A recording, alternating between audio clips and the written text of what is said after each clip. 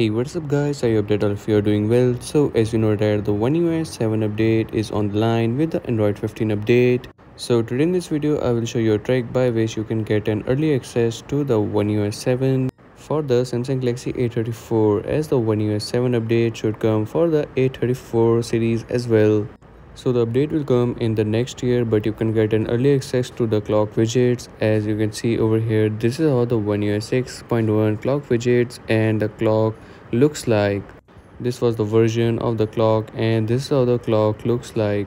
Now I will show you a trick by which you can get a new update of the One UI 7 for that you just have to go to your chrome application browser and from here you just have to search for this samsung clocks 12.4.00.8 version there are some other versions also available but i am using this version and this is completely bug free you just have to click on download and depending on your internet speed the download will start.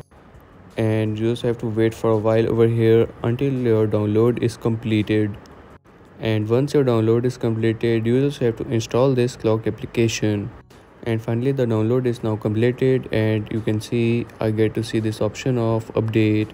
You just have to click on this update option and and if your auto blocker is on then it will prevent downloading these apps from the apk so for that you just have to first of all go to your security and privacy and from there you just have to turn off your auto blocker as auto blocker prevents download of apks now from here you just have to click on this toggle button to turn the auto blocker off.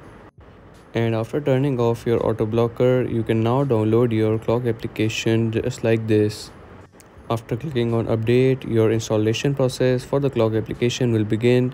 Now you just have to click on done and that's it. Now you can enjoy this new clock application. As you can see over here the logo of this clock application is also changed for the one UI 7 logo.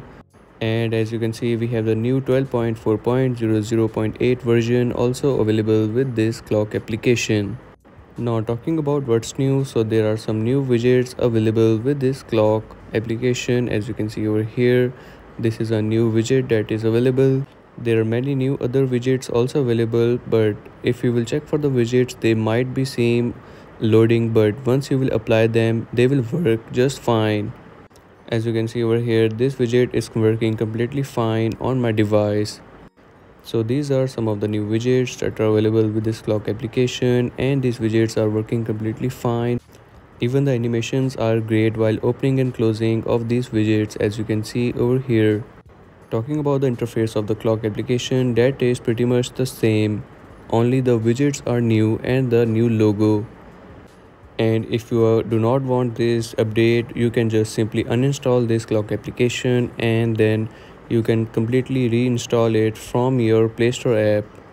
And that's all for today's video. Check out this new clock application for these new widgets and if you are new on this channel so make sure to like and subscribe as i will keep you updated with the new updates